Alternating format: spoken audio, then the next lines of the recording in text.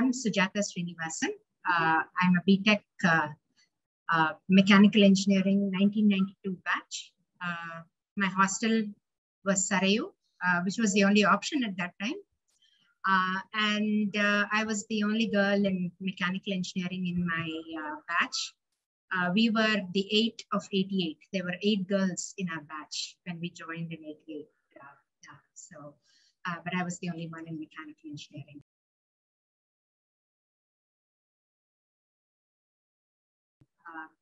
I think um, IIT was a place that I fell in love with the moment I walked into the campus. And uh, I think it's, a, it's been an enduring uh, uh love story in, in that sense. Um, I just loved the campus and uh, the hostel experience was uh, great as well.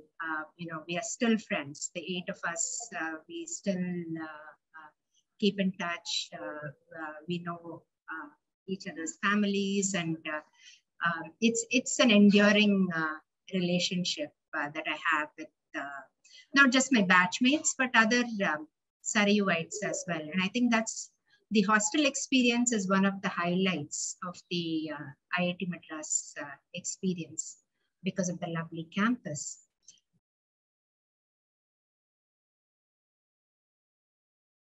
Um, as far as I think I made the most of my time at IIT Madras. That's one of the things that I uh, uh, am really uh, happy about because uh, I tried a lot of things that I might not have otherwise. Uh, I started playing table tennis and eventually made it to an inter IIT. Uh, um, then I played tennis for the first time here. I participated in elocution, debates, uh, even karaoke. Um, there was nothing that I didn't uh, try, and uh, that was a great uh, experience for me. Uh, so I'm glad I did that, and you know, uh, I don't have regrets about my time at IIT Madras as a student.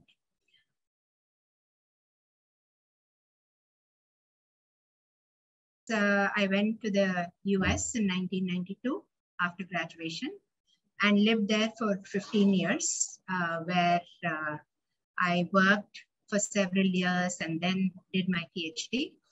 And then came back in 2008 as faculty for my second stint at uh, IIT Madras.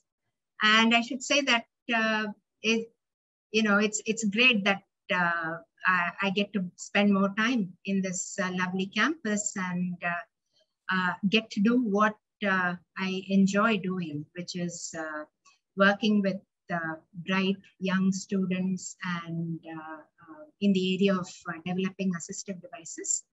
and we've been fairly successful in the last 10 plus years in developing devices for people with locomotor disability and uh, translating them to the market.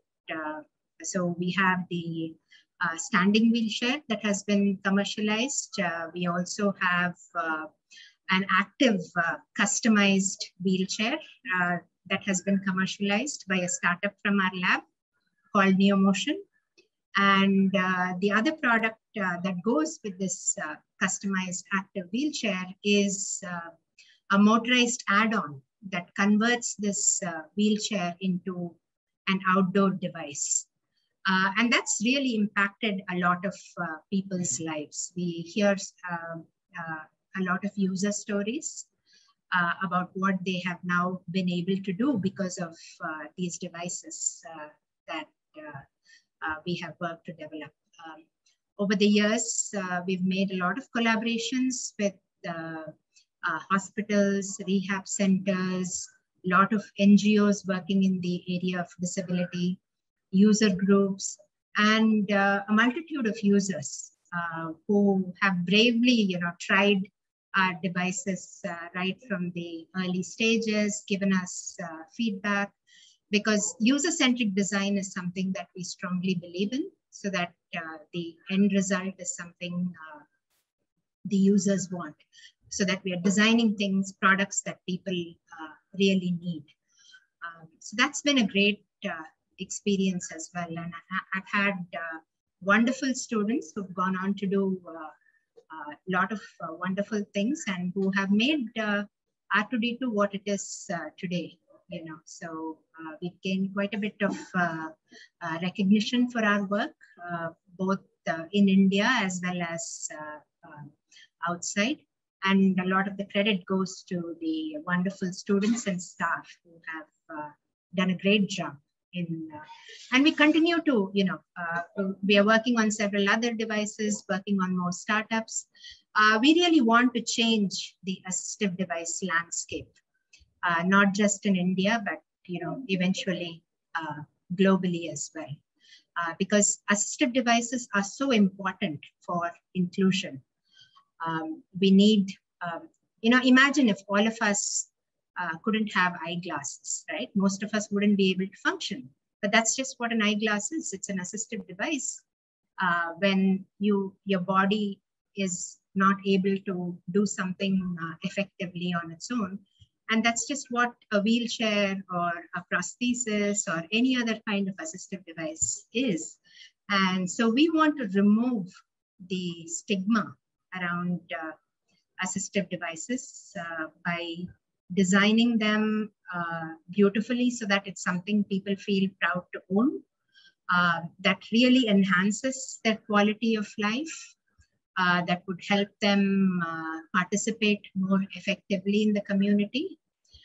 Um, so that's that's what we have set out to do, and I hope to continue this journey for some some more time. I would also like to thank a lot of alumni who supported uh, these projects in the early stages, uh, which has helped us to, uh, you know, uh, come to this uh, level.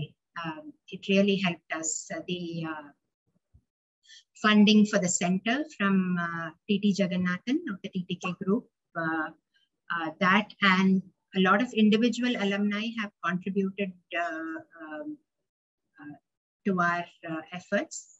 And of course, a lot of corporates through their uh, CSR uh, donations have also made a big difference and helped us take our work to the next level.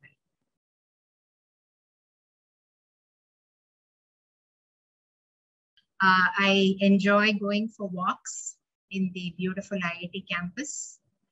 Um, and um, yeah, I just like hanging out uh, with my uh, family and uh, uh, that's about it. Yeah. Do some reading once more. Yeah. Yeah.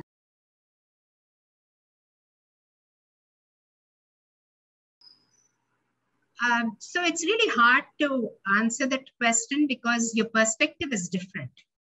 You know, as a student, my perspective was different from what it is now as uh, faculty.